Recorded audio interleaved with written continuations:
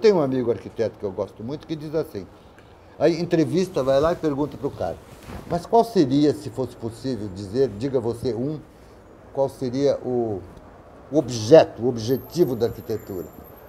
Ele diz assim: eu acho que de fato é evitar o desastre.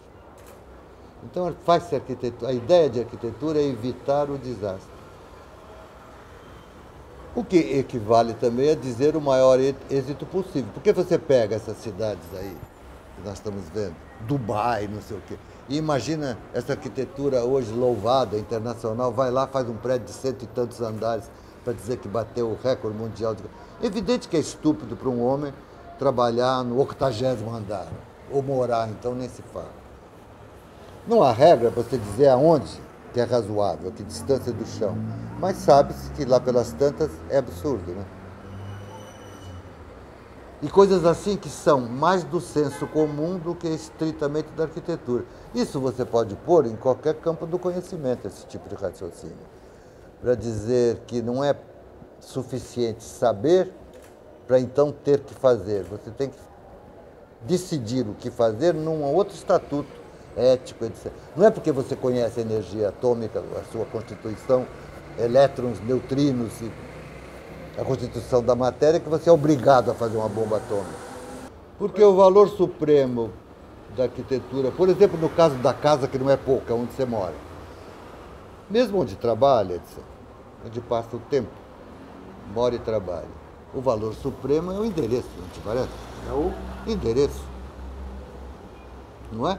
O valor supremo é o endereço. É, se eu começar a descrever a minha casa porque tem um telhado assim, com uma chaminé não sei o quê, uma porta, você pode ficar aborrecido olhando para mim e dizer assim, vamos lá, onde vai chegar isso?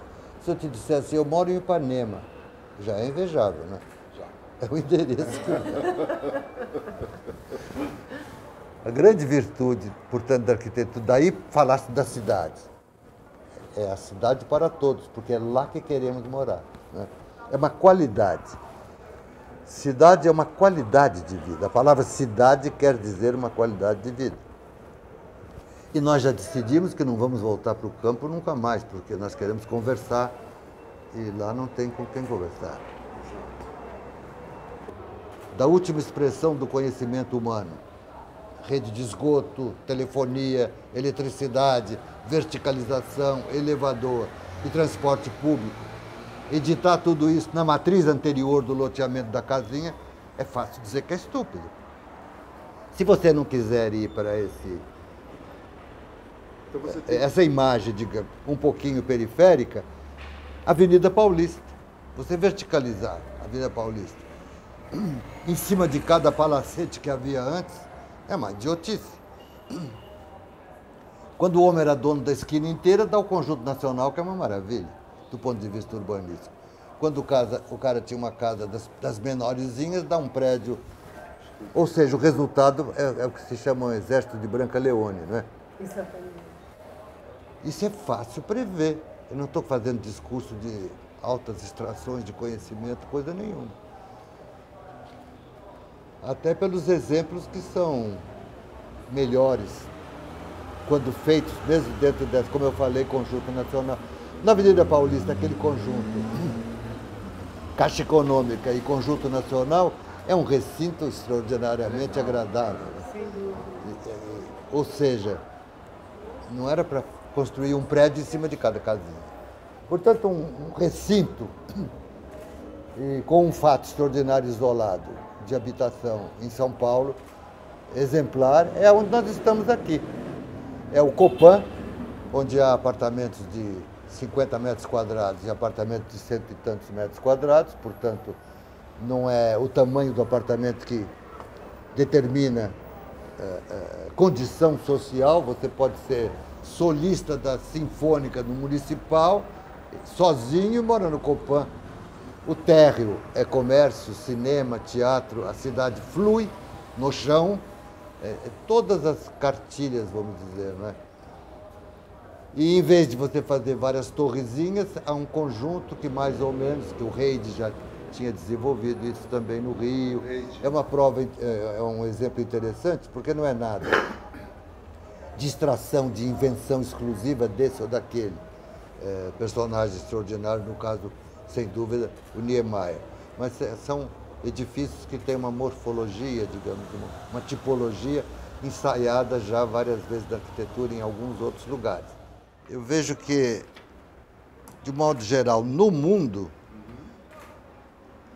desde depois da, da última horrível guerra, associou-se a arquitetura com a paz e a reconstrução das coisas. Portanto, associar a arquitetura com a vida é mais ou menos hoje, apesar dos desencontros, eu não quero parecer ingenuamente é, otimista, não é nada disso. Não é otimismo, é inexoravelmente o caminho que fica traçado pela evidência das coisas.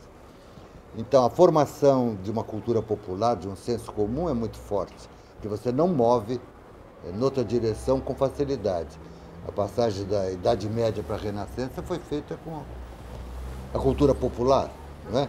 Rabelais, você escarnece dos dogmas e ao mesmo tempo elogia a capacidade popular de, de interpretar aquilo que era estamento definitivo e modos e costumes. A coisa muda. Nós estamos vivendo isso dentro desse plano, eu tenho a minha impressão é essa. Digamos, dolorosamente, não é uma passagem a tal conversa nossa do começo de que as coisas fluem. Não flui, mas andam. Como uma navegação. Você não atravessa o Atlântico a vela sem saber que vai haver uma tempestade ou outra. Né? A ideia de reconstruir, recompor os espaços, obriga uma reflexão sobre a cidade contemporânea, porque nem sempre você, se, você, você acaba descobrindo que nem sempre terá que repetir exatamente a mesma coisa, como quem limpa pedra por pedra e arruma como estava antes. E se transforma a cidade no que nós podíamos chamar, do ponto de vista, o que sempre desejamos e nunca tivemos, a cidade para todos. Só que isso não sai assim de modo linear. Como tudo na vida, que é bom, tem o seu lado que degenera. Ser bom para degenerar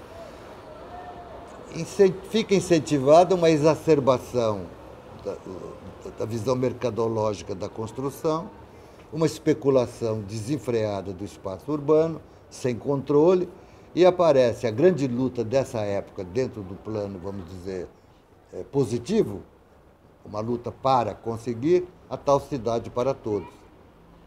Você vê que essa ideia de centro abandonado é comum a todas as cidades do mundo, já não é uma coisa brasileira ou americana. Porque... Por que isso acontece? Exatamente porque se realiza a cidade para todos. Você põe um metrô onde não havia. São Paulo, por exemplo, no sentido da palavra, o exemplo da cidade de São Paulo para todos nós. Por quê? Não havia, é uma cidade recente. Você vê a ideia do recente ou não recente, claro, Roma tem 5 mil anos, Paris dois mil e tantos anos. Bom, São Paulo, em 150 anos, saiu de uma vila para isso aqui. São anos. Paulo teria 300 anos, qualquer cidade brasileira, mas você pode dizer São Paulo tem 100. Mas é preciso ver que São Petersburgo tem 300 só. Comemorou os 300 anos de São Petersburgo e é uma cidade maravilhosa, digamos.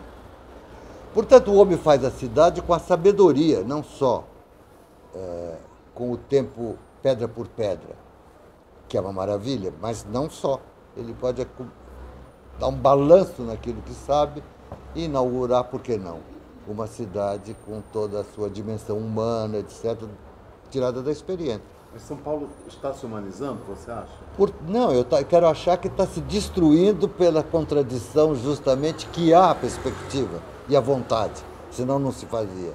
E está sendo desfrutada desastradamente por uma desenfreada especulação, dentro de uma contradição uma coisa ou outra. Portanto, a, a ideia da arquitetura é, antes de mais nada, um discurso indignado, é, mais do que aquilo que de fato se faz.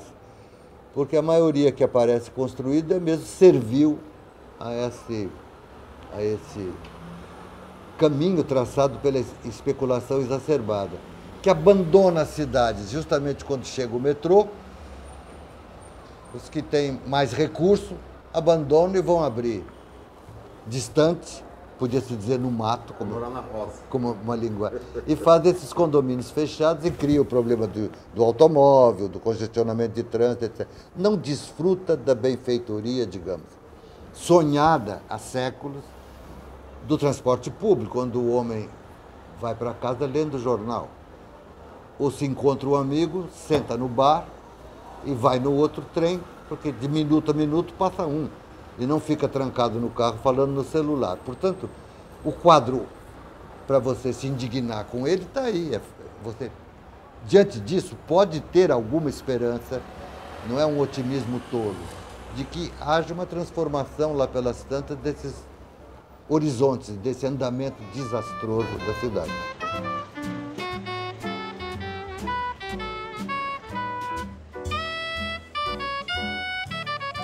Isso não é de graça. Isso aqui você não sabe o que aconteceu. Os arquitetos eram tidos 64, esquerda. Os que tinham mais dinheiro caíram fora, para não ficar estigmatizados, fundaram a ASBEA, Associação Brasileira de Escritórios de Arquitetura. E nós éramos o quê? E aqui foi para o brejo. Durante 20 anos.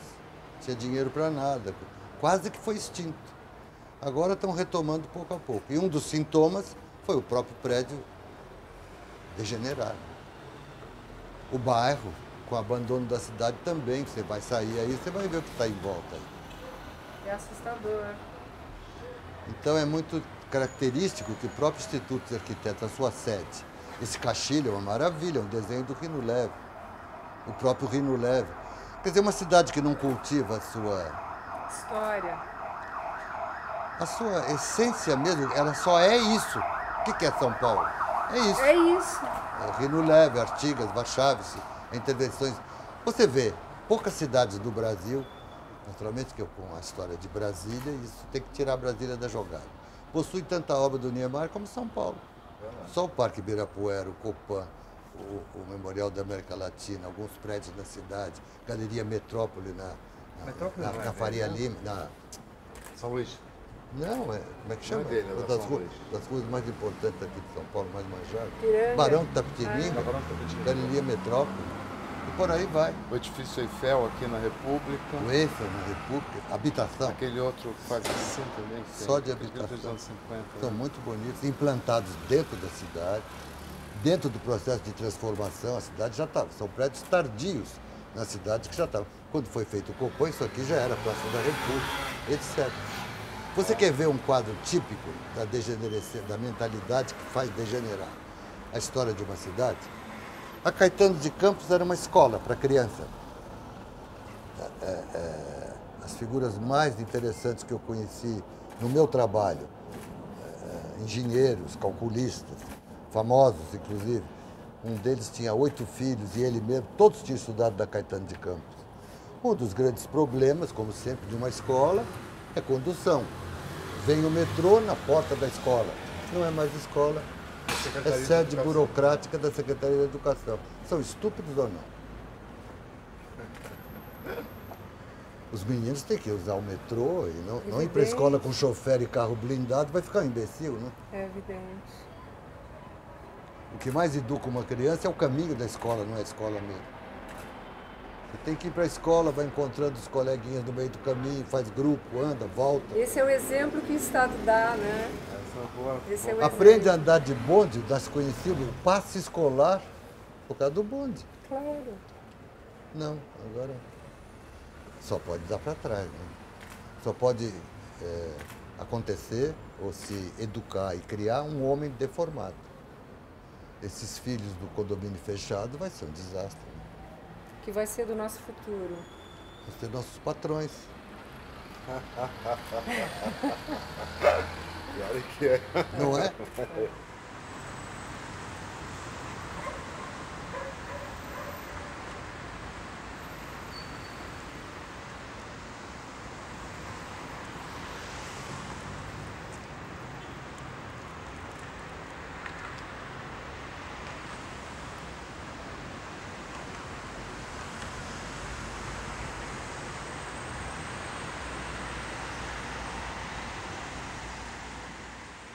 Mas a arquitetura não surge de uma simples fantasia ou inspiração absolutamente. Há questões de implantação, mecânica do solo, fundações adequadas ao lugar, solicitação, o que é morar aqui nesse lugar com o metrô ali do lado, esse e aquilo, sabe como é? É bastante complexo. Tanto quanto contar um caso, tanto quanto literatura. A arquitetura é um discurso. É um discurso muito consistente sobre a, o mais profundo, digamos, que há da experiência humana no sentido de habitar esse planeta. Ou um planeta no universo. É uma virtude da forma com que é feita a catedral e tudo isso. É a geometria que dá a virtude ao, ao artefato, né? Assim ele fica em pé. Assim não fica nem a pau. Portanto, eu estou afim de, de aceitar, esperar, eis a esperança, que vai haver uma revolução na área do ensino no mundo inteiro. Porque nós, apavorados que sempre fomos, botamos as crianças na escola para discipliná-las e fazê-las ficarem quietas. Portanto, o ensino é todo repressivo, a ponto do próprio conhecimento ser aplicado com códigos que fazem daquilo pílulas, para depois você cobrar no fim do ano e ver quem passa e quem não passa. Os japoneses se matam quando não passam. É um desastre muito pior do que tiro, bomba, tudo isso. É na mentalidade mesmo que a coisa avança ou retroage. Então você vê que eu tenho razão ou não? De dizer que é tudo muito mal feito, quase que de nós somos malucos. Para transformar tudo em mercadoria. Inclusive o ensino. Um dos maiores negócios hoje em dia é montar uma escola e cobrar. Devia ser absolutamente proibido. Portanto, no fundo, sabe o que estou querendo dizer? Que a grande revolução, nós estávamos falando disso, né? Para onde nós iremos? Como estamos atrasados, falamos da guerra, a reconstrução, a expectativa de um, uma certa revolução, no sentido pacífico da palavra. Modificações rápidas do tempo, chama-se revolução, não é isso? Eu acho que é na área do ensino. Eu fiz talvez essa brincadeira que eu já repeti até algumas vezes, porque a Inês é tão. estou aqui na frente. É tão... Essas questões, essas questões, eu acho, da, da física elementar, força da gravidade, é, mecânica, mecânica dos solos, devia se ensinar para as crianças desde pequeno. Matemática avançada, a matemática foi desenvolvida para simplificar. O conhecimento não complica nada, ao contrário, complica não saber.